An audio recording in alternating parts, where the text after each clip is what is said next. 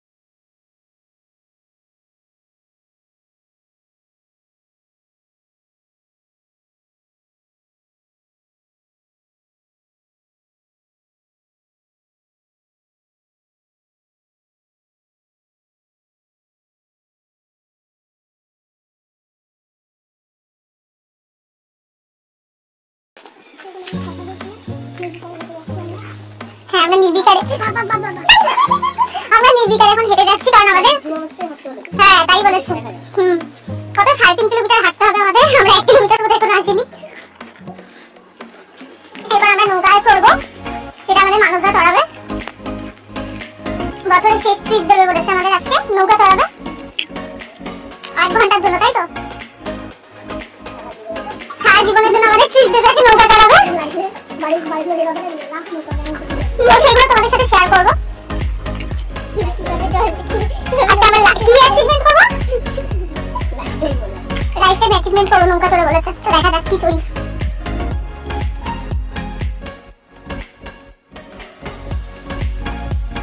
এখানে প্রচুর গাছ রয়েছে প্রচুর অর্জুন গাছ বাঁশ গাছ। আর এই বাঁশ গাছ থেকে এইসব কঞ্চি জোগাড় করছে? হুম। একটা গাছ পাঁচ দুটো গাছ দশ ধরে ধরে একটু টান ধরে আমরা তো হেঁটেই চলেছি কখন যে গেট আসবে জানি না। কোথায় নামিয়ে দিয়েছে? এটাই কি মেন গেট এদিক দিয়ে আর কোনো রাস্তা নেই যাওয়ার? না না দিদি পালাই হরিণগুলো বাঙ্ক মারে দেখি স্কুলে বাঙ্ক মারে। বাবা এখনও কতটা রাস্তা? তবে এখন এগারোটা পাঁচ বাজে কি হুম হুম মাশরুম। কি হলো কঞ্চিটা বার করো তোমার?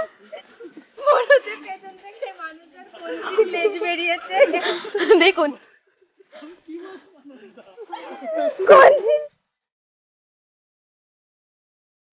আমার আগের যে নীলকুঠির ব্লকটি ছিল তো সেখানে যে এক্সাক্ট লোকেশন যদি বলা যায় সেটা কিন্তু মঙ্গলগঞ্জের নীলকুঠি যেটা কিন্তু বাগদা ব্লকের অন্তর্গত। প্রপার যে বনগা সেখান থেকে বাইশ থেকে পঁচিশ কিলোমিটার দূরে।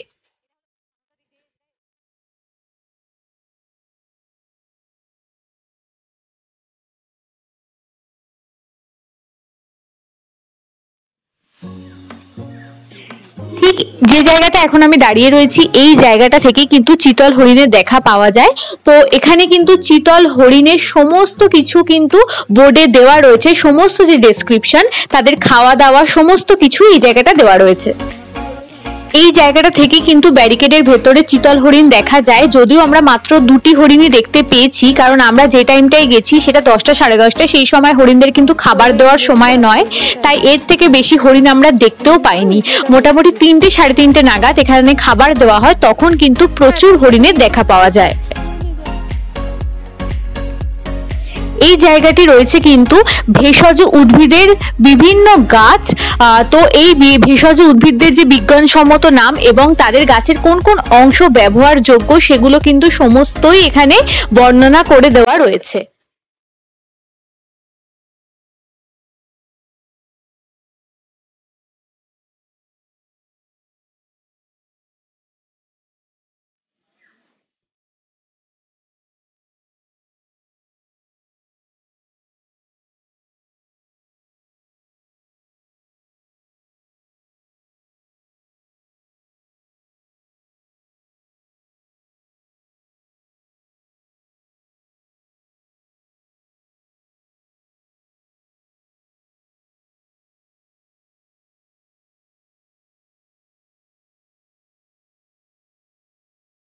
যেহেতু আমরা নীলকুঠি দিয়ে ঢুকেছিলাম, সেই কারণে যেহেতু ওটা ওই মানে ওই পাশের পার হয়ে ঢোকা, আমাদের টিকিটটা করা হয়নি। তা প্রথম থেকেই আমরা যে জায়গাটা দিয়ে মানে পার হওয়ার পর যে জায়গাটা দিয়ে আমি বললাম যে এতটা হেঁটে যেতে হবে আমাদের তিন সাড়ে তিন কিলোমিটার মতো, ওটা কিন্তু পুরোটাই এই ফরেস্টের আন্ডারে পড়ে, ঠিক আছে? তো আমরা যখন এই জায়গাটায় এলাম, তখন আমরা জানতে পারলাম যে যেহেতু আমাদের টিকিট করা নেই, যার জন্য আমাদের ফরেস্ট ডিপার্টমেন্ট থেকে বলা হলো টিকিটটা করে নিতে, এটা পুরোটাই টিকিট কাটার আন্ডারের মধ্যেই পড়ে। তো যারা নীলকুঠি থেকে মানে ওইভাবে আসবে, ওখান থেকে সবাই আসে না, যেহেতু অনেকে নীলকুঠি যায় না, তারা ডাইরেক্ট এখানে আসে।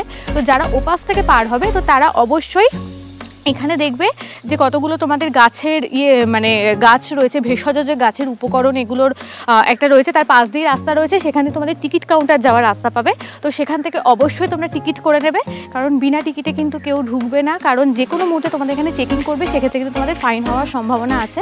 তো আমরা এখন টিকিট করতে যাচ্ছি, টিকিট একশো কুড়ি টাকা পার হেড করে লাগবে, যেটা অনেকটা বেশি, কারণ এখানে কিন্তু আলাদা করে ভেতরে ঢুকে দেখার মতো কিছুই নেই।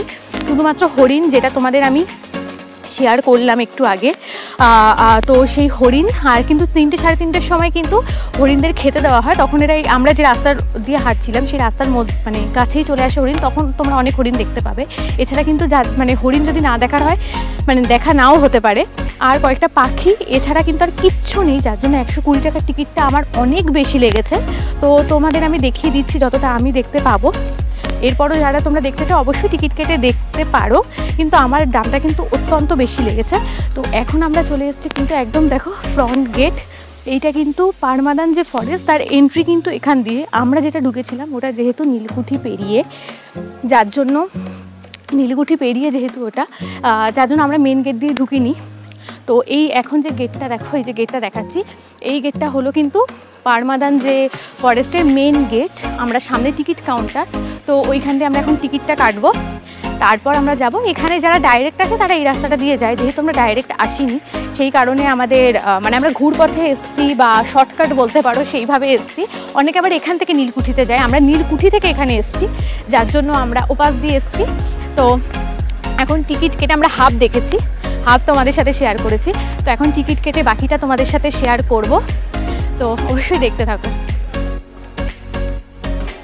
এটি হলো বিভূতিভূষণ অভয়ারণ্য, পারমাদান। যেটা আমরা পারমাদান ফরেস্ট বলেও চিনি, তার মেন গেট এখানে কিন্তু সমস্ত নোটিশ দেওয়া রয়েছে।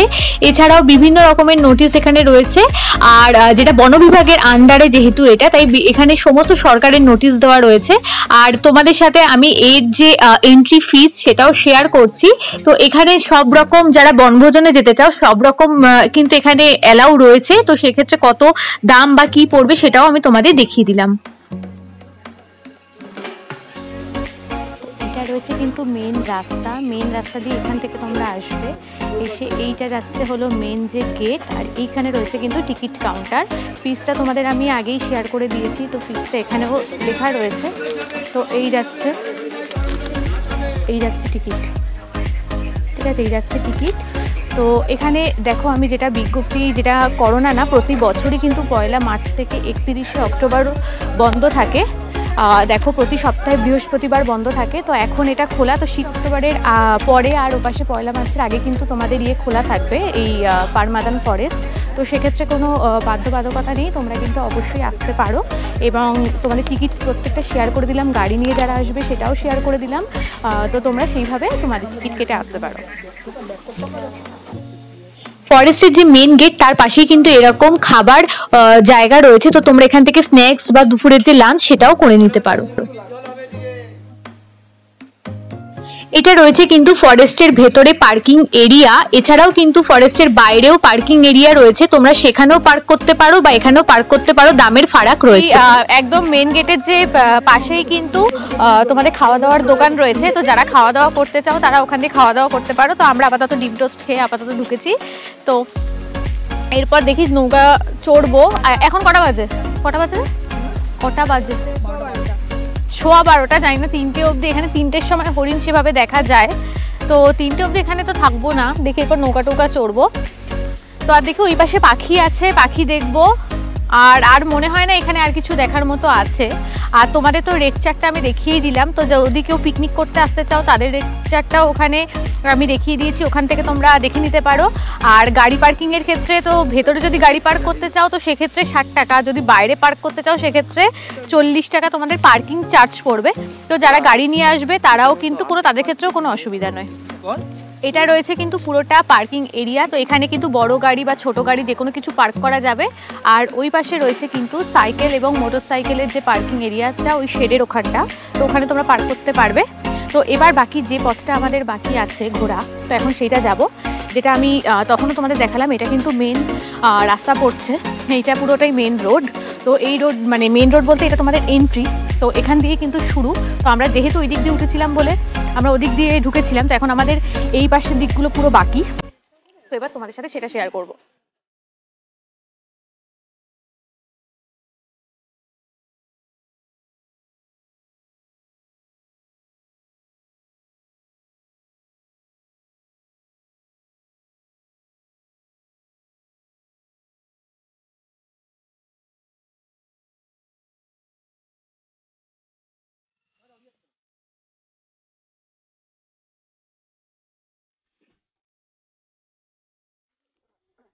给个巴掌。哎 এবার চলে এসেছি কিন্তু পারমাদান ফরেস্টের যে পাখিরালয় সেইখানটায়। তো এখানে রয়েছে কিন্তু পায়রা, খরগোশ এবং রয়েছে কিন্তু বিভিন্ন রঙের টিয়া পাখি। আর টিয়া পাখির ক্ষেত্রে যেটা বলি, সেটা হলো সবুজ রঙের টিয়া পাখি তো আমরা সচরাচর দেখেই থাকি। এখন আমরা টিয়া পাখির ঠিক খাঁচার সামনে রয়েছি। এছাড়াও কিন্তু এখানে হলুদ এবং সাদা রঙের টিয়া পাখি রয়েছে। এই যে দেখতেই পাচ্ছ তোমরা, হলুদ রঙের টিয়া পাখি, অনেকগুলো হলুদ রঙের টিয়া পাখি রয়েছে। আর রয়েছে এই যে নিচে সাদা রঙের টিয়া পাখি, যেহেতু এখানে জাল রয়েছে তাই ভালোভাবে দেখানো যাচ্ছে না। এই টিয়া পাখিটা একদম জালের কাছে বসেছিল, তাই তোমাদের একটু দেখাতে পারলাম। আর রয়েছে কিন্তু এখানে সাদা ময়ূর, সেটাও তোমাদের দেখাবো। আর খরগোশ যেগুলো রয়েছে সেগুলো তো খরগোশ তো দেখা মানে দেখতে পাওয়াই যায়, কিন্তু এই সব থেকে অবাক লাগল যে টিয়া পাখির রঙগুলো ভীষণ সুন্দর টিয়া পাখি। এছাড়াও রয়েছে কিন্তু বদ্রি পাখি ও আরও কিছু পাখি এখানে রয়েছে, সেগুলো তোমাদের আস্তে আস্তে আমি শেয়ার করছি। আমরা এখন চলে এসেছি একদম ময়ূরের যে খাঁচার সামনে। একদম ঠিক আমার পা ধবধবে লাগছে সাদা ময়ূর। আমি এর আগে এতটা ধবধবে সাদা ময়ূর দেখিনি। তো এটা কিন্তু একটা পারমাদান ফরেস্টের অন্যরকম আকর্ষণ বলা যায়। আমরা তাও হরিণ দেখতে পেয়েছি। অনেকে কিন্তু হরিণও দেখতে পায় না।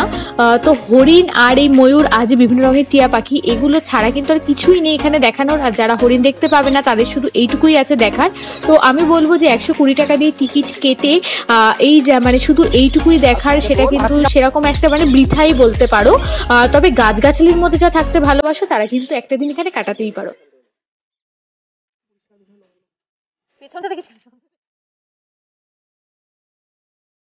এখানে রয়েছে বন বিভাগের বিশ্রামাগার তো এখানেও কিন্তু থাকার ব্যবস্থা রয়েছে। এই ঘাটের থেকেও কিন্তু নৌকা চড়ার ব্যবস্থা রয়েছে, কিন্তু এখানে যেহেতু দামটা একটু বেশি বলেছে, তাই জন্য আমরা এখান থেকে চড়িনি। তো আমরা যে নৌকাটায় চড়েছিলাম, সেটা কিন্তু চারজনের এক ঘন্টায় দুশো টাকা। তো এর নিচে তোমরা কিন্তু ওখানে পাবে না। তো তোমরা এই রেটটা আমি তোমাদের বলে দিলাম, যারা যাবে তাদের ক্ষেত্রে সুবিধা হবে। তো এখন আমাদের আবার ফেরার পালা কারণ আমরা এখন আবার সেই জায়গাটায় চলে এসেছি যেখানটা আমরা হরিণ দেখেছিলাম এবং আমরা টিকিট কাটার জন্য ওই দিকটায় চলে গেছিলাম। তো দেখার জন্য কিন্তু এইটুকুই রয়েছে কিন্তু ফরেস্টটা কিন্তু অনেক বড়। তো একবার কিন্তু এই সবুজের মাঝে তোমরা যেতেই পারো। আমাদের আহ, পারমাদান ফরেস্ট যেটা তার যা ঘোরা আমাদের ঘোরা কমপ্লিট কারণ আর কিছু বাকিই ছিল না শুধু পাখির ওই যেটুকু আমরা আমি শেয়ার করলাম সেইটুকুই বাকি ছিল শুধুমাত্র। আর বাকি সবই তোমাদের আমি শেয়ার করে ফেলেছি। তো এখন যতটা এসছি আবার ততটা আমাদের ব্যাক করার পালা। ব্যাক করে দেখি কোনো নৌকাটা চড়বো। ব্যাস, আর কিছু এখন সবে বাজে একটা মতো বাজে। তো আমাদের সব কমপ্লিট হয়ে গেছে। তো এখন আমাদের ব্যাক মানে এখন আমরা ব্যাক করছি। তো এখানে আর দেখার মতো সেরকম কিছুই নেই। শুধুমাত্র হরিণ আমরা দেখতে পেয়েছি। তাই যারা দেখতে পাবে না, তারা সেটাও দেখতে পাবে না। এছাড়া আর কিছুই এখানে সেরকম বলতে নেই। ওই যারা বনভোজন করতে আসে, তো তাদের সেক্ষেত্রে সময় কাটে। এছাড়া সেরকম এখানে আর কিছু নেই। তো বাকি এবার যদি নৌকায় চড়ি তো তোমাদের সাথে সেটা শেয়ার করব। গরম দেখাচ্ছে। এখন আমাদের নৌকা চড়ার পালা তো চলে এসেছি আমরা একেবারেই ঘাটে। তো এখন আগামী এক ঘণ্টা আমরা নৌকাতে চড়বো। ভীষণ ভালো একটা এক্সপিরিয়েন্স হবে আশা করা যায়। তো চলো।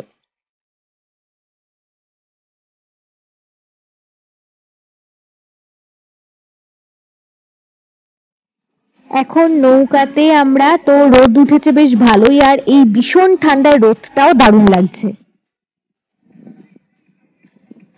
আমরা এখন নতুন মাঝি পেয়েছি। জানি না এই মাঝিটা আমাদের আমরা ডুববো না ভাসবো জানি না। এই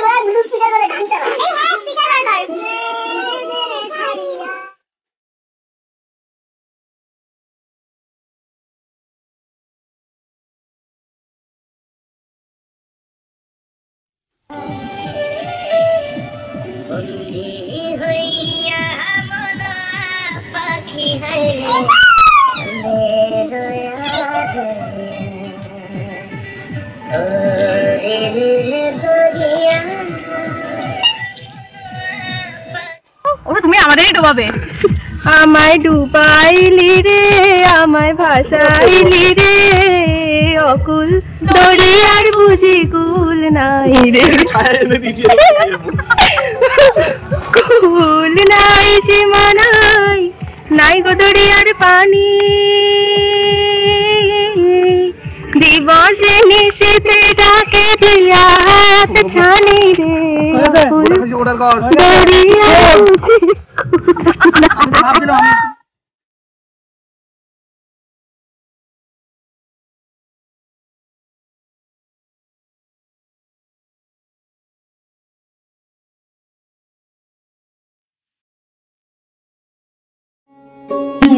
বুঝি পারমাদান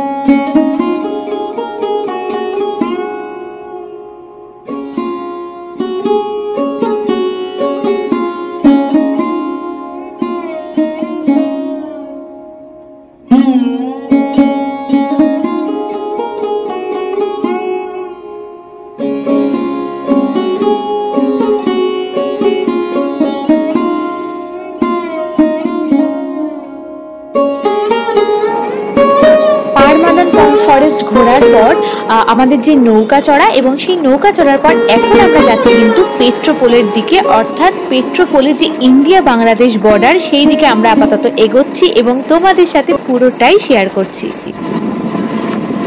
আসার সময় নাটাবেড়িয়া বাজার থেকে কিন্তু আমরা অটোতে এসেছি তিরিশ টাকা ভাড়া, যেটা তোমাদের এর আগের ভিডিওতেও কিন্তু আমি শেয়ার করেছিলাম, বাস এবং অটোতে একই ভাড়া। তারপর আমরা মোটর ভ্যানে করে পেট্রোপোলের দিকে যাচ্ছি, এখানে কিন্তু এক একজনের কুড়ি টাকা করে ভাড়া।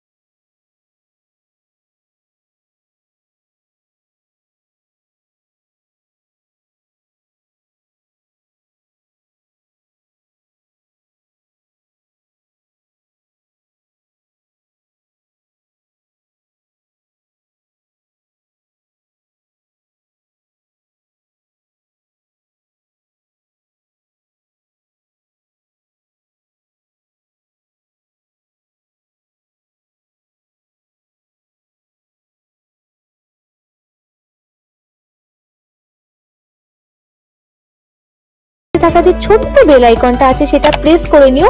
আর আগের ব্লগগুলো যারা মিস করেছ, তারা কিন্তু অবশ্যই আই বাটনে গিয়ে ব্লগগুলো দেখে নিও, আর সেখানেও কিন্তু কমেন্ট করে জানাতে ভুলো না। তো আজকের মতো সবাইকে টাটা!